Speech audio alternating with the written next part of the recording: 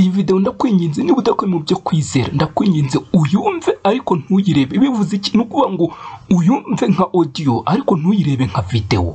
Kubera iki? Kubera ko hari ibintu bishobora kuba byakugosha. Ubaye ubirebye ariko kubyumva ntibigire icyo bigutwara nagerageje kweditinga ariko nyine hari ibyo byabaye ngombwa ko mbirekeramo bitoya kugira ngo nyine bigaragaze uburemere bw'ibyo ndi kuvugaho. Ubwo ku bashuti ndavuga abana abo nabo mubashyire muri icyo cyiciro bagomba kubireba nka audio.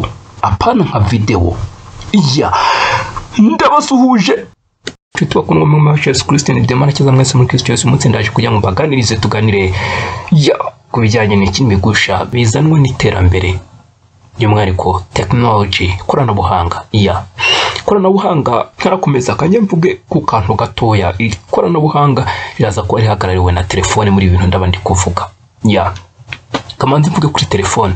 Telefone ni igikoresho iyo gikoreshejwe neza cyorohereza abantu gukora umurimo w'imana umurimo wa kirisito ariko kandi kikongera kikaba igikoresho iyo gikoreshejwe nabi cyorohereza abantu gukora imirimo ya satani mbese gikururira abantu mu byaha bakabikora mu buryo bworoshye. Kanze dufata urugero. Hari abantu mu buzima busanzwe bataba batinyuka eh, kujya mu bintu by'urukozasoni ubusambanyi ni iki? Ariko kuri telefone uraho wibereye iwawe ubusambanyi ukabukora bikoroheye. Nta muntu ukubona nta muntu ugize ute ariko kandi ari uko utabishatse ahubwo ari uko yabigukururiyemo ako ndaza kukagarukamo. Mbo nanone kandi ugasanga ariho umuntu udatinyuka kuvuga ibintu runaka amaso ku maso urabizi wenda ari nk'umuntu utabwira umukobwa umuhungu utabwira umukobwa yuko amukunda cyangwa se afite ibindi amwifuzaho bijyanye n'ubusambanyi amaso ku maso ariko kuri telefone akaba yabivuga ngo ko atamubona? Nanone muzi n'ukuntu byoroha kubeshyira kuri telefone. Uko kose byoroha mu bijyanye n'imirimo ya satani. Nta niko byakorohera umuntu mu bijyanye n'umurimo w'imana. Ahubwo urahitamo iki? Ese urahitamo gukoresha ibyo koranabuhanga cyangwa se telefone? Ukora umurimo w'imana cyangwa se riragukurura ahubwo rikugushe. Ya. Nk'uko tubibona turi kuri facebook tukiri kuri icyo ngicyo ndaje mvuge aho mbikuye mbikuye hehe? Ubushize ikoranabuhanga ryashatse kunkurura mu bintu by'ubusambanyi ubusambanyi bwo kuri interinete ariko nyine uburinzi bwa kirisiti bwari bundiho maze ndarineshya. Byagenze bite? Ni ukuvuga ngo hano ndi kuri facebook mfite inshuti zingana iki? Murazibona.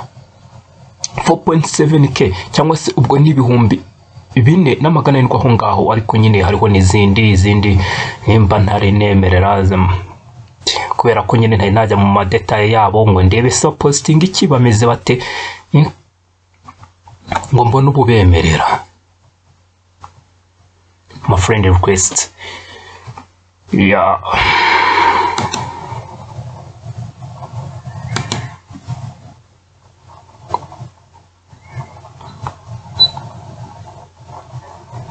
murazibona gutyo gutyo.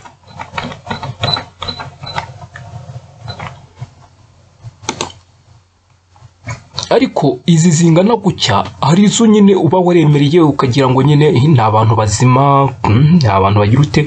Ariko se ugasanga nyuma y'agahe babaye ukundi kuntu? Nabo babaye ibikoresho bigukurira kuba byagira ute? Washyira mu bikorwa imirimo ya satani. Ya hanyuma ukaba witurije bagapositinga positi positi mbi iyo utareba. Maze kubera ko babaye igikoresho cy'umwanzi bakagukorera iki? Bakagukorera icyo bita gutaginga.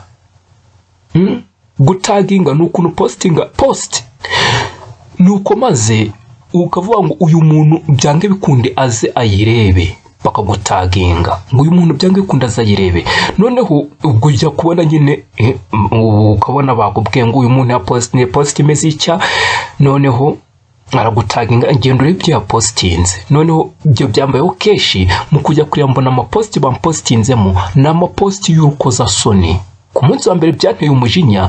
Kandi facebook ivuga ngo ibintu nk'ibyo wemerewe kubitangamo raporo. Ku babishinzwe. Uwo muntu bakamuhagarikira akawunti ye cyangwa se bakamubuza kujya akoresha facebook. Byanteye umujinya uwo muntu mutangamo raporo. Ntabwo hari inzira binyuramo ukavuga icyo umutangiye ikari ibintu bijyanye n'ubusambanyi hanyuma kanatanga niyo post ukagira ute hanyuma banyohereje message. Nuko ari kera cyane ntabwo nabasha kugerageje kuyireba ndayibura ni kera cyane naciye nk'amezi abiri. Gutyo gutyo niko nawe ari kuzanira bakagarukira ku byumweru umunani. Mba nyiberetse n'amamesaje bagiye bampa. Facebook imbwira noneho ba- namara- maze kumutanga kuvuga ngo urakoze didier turaje tunywe muri ntuza muri iyi raporo duhaye hanyuma tuzaba tuguha ubutumwa ya nategereje nk'umunsi umwe muzike bambwiye barambwiye ngo wakoze ku bwa message waduhaye ku bwa raporo waduhaye twarebye dusanga uyu muntu nta kibazo afite. Nuko ntarinda mbereka izo post bavuze ngo nta kibazo zifite nyine nazire- nazirebye nazibuze. Ya. Ngo twasanze nta kibazo afite ngo cyo koza ngo niba kubangamiye hari ikintu wakora ngo wamubloka cyangwa se ugakupa kutajya nyine n'ibindi bintu. Byo ibyo byo no kubikora kera. Ya. Mbo ubwo noneho ndava ntacyo nyine ubwo ndabazi nyine n'ubundi. Izi platform cyangwa se ibintu by'imboga ntuza ziba zarashyiriweho kugira ute eh, kugusha abantu urukumva bari kubakora umurimo ya nta kuntu n'ubundi mwamukuraho. Ahubwo twebwe tuba turi kubabangamira kubera iki? Twebwe turaza kuri izi mbuga satani we yarashatse gufatiraho abantu maze twebwe tukagira ahubwo tukazikoresha tugira dute? Tuzana abantu muri kristo. Eh, gutyo. Noneho ubwo byamaze kubona ko bimeze bike nahise mvuga ngo posti nk'iyo mbonye bi- bihaye kumpositinga ngo bari gushaka kungusha. Ahubwo nanjye nzajya mpita njyaho. Ntangire mburira abantu gutyo gutyo. Posti ntaginzemo. Njyaho mpita mbwira abantu ibi bimbwira n'uwo muntu ko natehana azarimbuka n'ibiki n'ibiki n'ibiki n'ibiki n'ibiki ya ibyo bibaho. Gutyo gutyo gutyo gutyo. Agahe karashira. Ubwo byari bimeze gutyo kugeza ejo. Ejo uyu munsi turi ku itariki zingahe? Itariki cumi n'imwe gicurasi. Makumyabiri makumyabiri na kane. Noneho ubwo ejo ku itariki icumi nari niriwe bimeze bite? Nari niriwe bari bantaginze mu bipositi nk'ibyo bimeze gutyo. Ib- iby'ejo byo ntabwo ndabura kanze mbibereke kuko ntabwo ndazibura se. Aya ariko hari igihe ntazibona. Hari igihe ntazibona. Mbo kubera ama notification menshi mba nakiriye hmm? kaze ngerageze nyuremo ndebe.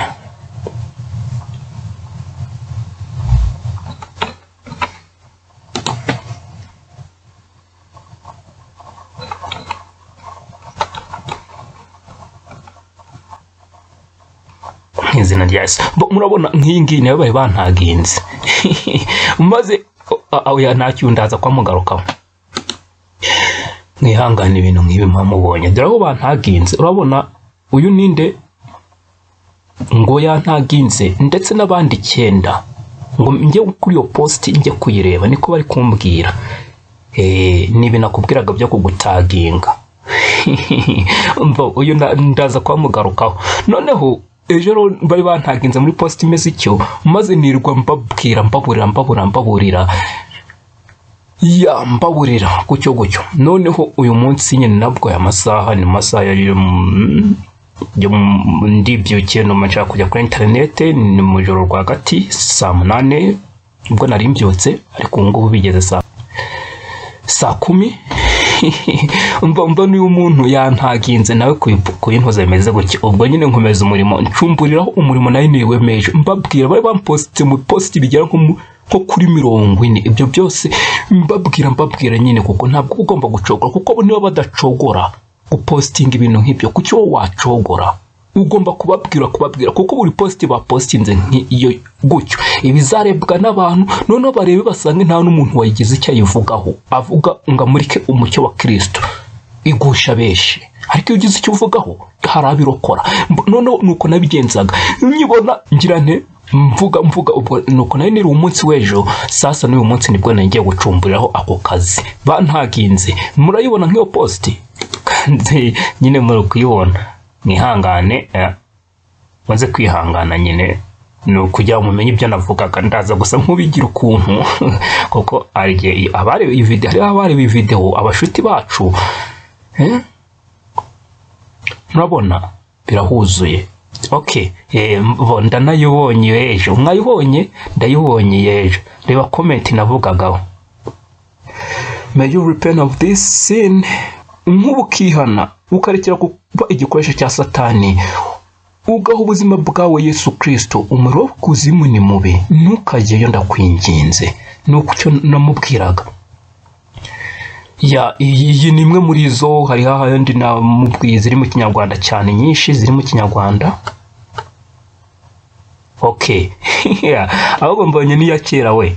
Mbonye n'iya kera. Ya yindi nahereye eh, ngirane uyu nawe yari yampositinze ku giposti ni uko hano ba- banze kucyerekana urakubona bari kuvuga ngo this content is available right now. Ngo ntabwo ikiriho. Ariko icyo gihe yari iriho yari iriho. Ehe namubwiye ngo iki namubwiye utinyuka ute kuntaginga kuri posti imeze gutya? Namubwira ngo uwiteka yesu kirisito akubabariye kuko utazi ibyo urimo ngo niba ugarutse mu ntekerezo ndakwinginze ihane. Ntiwemerewe guhumeka umwuka wawe wa nyuma ukiri muri ibi bintu by'ibikorwa bya satani kuko umubabaro wakwibonamo waba uwiteka. Rero ihane mbere y'uko ukererwa maze ushaka uwiteka bigishoboka akabona ne namubwiye. Ibyo byo ni byinshi.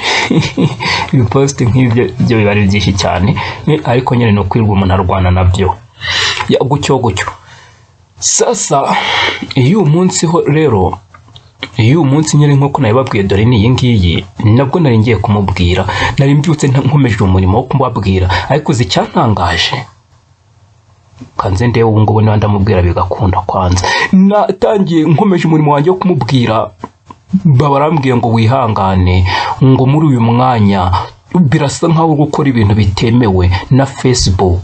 Ngo ubaye uhagaritswe mu gihe cy'isaha. Hari saa munane eh, hari saa munane bigeze saa cyenda kanze turebe uyu nguyu niba ndamubwira bigakunda. Ni posti nagize iri mu kinyarwanda.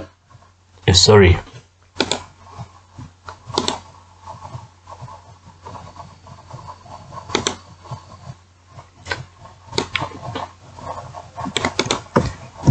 Ni copy paste.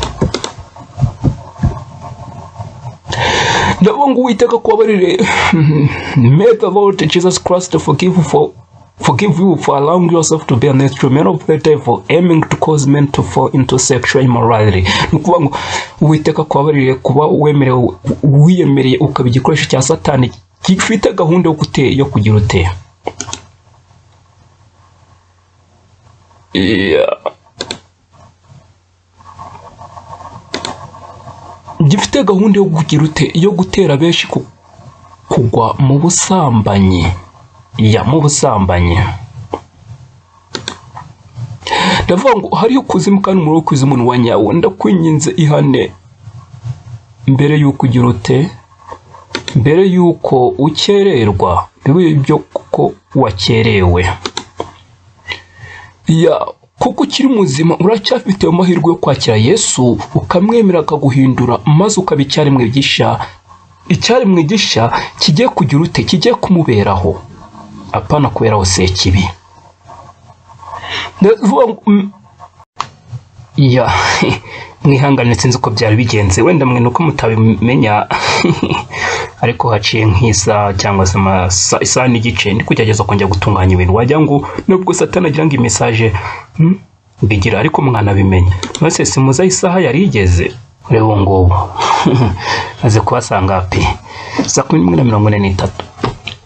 Noneho kadukomeze ni ni saa twari turi kugeza kwandika noneho reka nyohereze eh, hanyuma hano mu kinyarwanda nakiri yo mu kinyarwanda kambe nyikuyeho ndayohereza ukwayo n'ibidukundira. Eh, kugira ziba zitandukanye.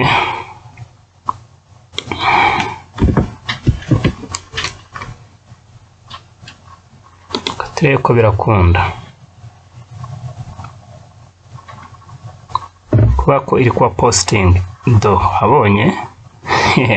Your account is restricted for one hour. Your account activity didn't follow our community standard. So you can do more, no more things you usually do. Urabona ngo account yanjye babaye bagize bagize bite ya ngo account yanjye ntabwo yageze kurikiza amabwiriza. Ubu noneho ushobora kudakora igikorwa kimwe cyangwa ibindi byinshi eh, wari usanzwe ukora ngo ariko bayigize ute? Ihagaritswe nko mu gihe cy'isaha bahere saa munani babimbwira. Bambwira ibi bintu. Ni ukuvuga ngo ndeke aba bantu bakomeze bikorere. Ibyo bari gukora ntababangamiye nta kubavugaho. Mbese muri rusange no kubavuze abonye mesaje ntabwo yagiye. So do aba. Ubu hano nawe sinavuga. Eh nari nahavuzeho hejuru mana ishimwe so murabona ibi ngibi ni byo bikubwira ngo niba ugize amahirwe ukabona mesaje ikubwira ngo va mu byaha ihane. Fatiranya ayo mahirwe kuko ntiwamenya ko hari igihe bizagenda bite. Hari igihe utazabona bene abo bakubwira ngo va mu byaha. Hmm? nk'ubu se urugero nk'umuntu nk'abo ngabo bazabona iyi posite bayirebe reba nk'abantu baba bamaze kuyibona Eh? bangana iki? Eh, umubare muri kuwubona miliyoni sinzi niba ari byo miliyoni magana atanu eh, hafi igice cya miliyari. Ni benshi. Mwabonye aba bose bora nta muntu n'umwe wigeze abona mesaje imuburira ngo ibyo bintu urimo si byo. Igice cya miliyari. Yewe. Ni benshi cyane. Mbo ngabo ntiwabavugaho? Aha naho wababonye ariko menya bibe. Ino si umubare ko ari umwe. Sinzi. Horese umwera gatanu cumi na kabiri. Gatanu cumi na kabiri. Sinzi. Menya babeshya menya babeshya ngo n'aba ni abantu. Sinzi. Menya babeshya ngo mwabonye abantu benshi babibonye namwe mu birebe menya ariko baba babeshya ariko umuntu uzabona iyi positi ni ukuvuga ngo nta muntu azabona umuburira ngo ibyo urimo si byo ibyo urimo si byo. Ariko eh, icyo nasaba umuntu wese ukoresha imbuga bene izi mbuga byibuze niba ubonye ibi bintu ukoresha ayo mahirwe ukibasha kuvuga. Eh, nk'uwo nabwiye ejo byibuze ayo mahirwe barayabonye. Ariko ubu ngubu hmm? nuko bimeze so mukiranukire kirisito ahantu hose ubonye amahirwe umuntu niba mu byaha ukumva umuntu akubwiye ngo uva mu byaha. Ayo ni amahirwe. Hari igihe bazagira ute bitazakunda ko yakubwira ya. Sasa ndumva kansoreza aha ngaha hanyuma mbabwira ngo tuzasubire nawe uta kirisito akomeze kubaza ibyiza mukoreshe igihe mufite. Mugira muti mukorera kirisito pana kuba igikoresho cy'umwanzi. Ya. Babaye